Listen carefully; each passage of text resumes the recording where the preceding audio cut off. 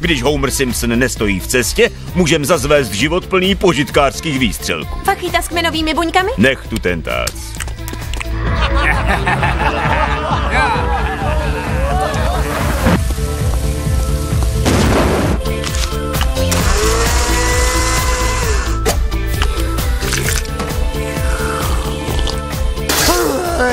Tomuhle říkáte nápoj? Ne, to by mě ani nenapadlo.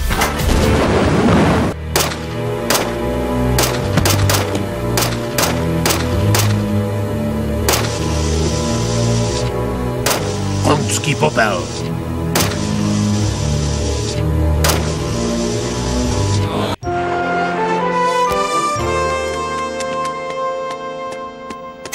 Máma hospodyňka. Scénář Rainer Wolfkas. Oh,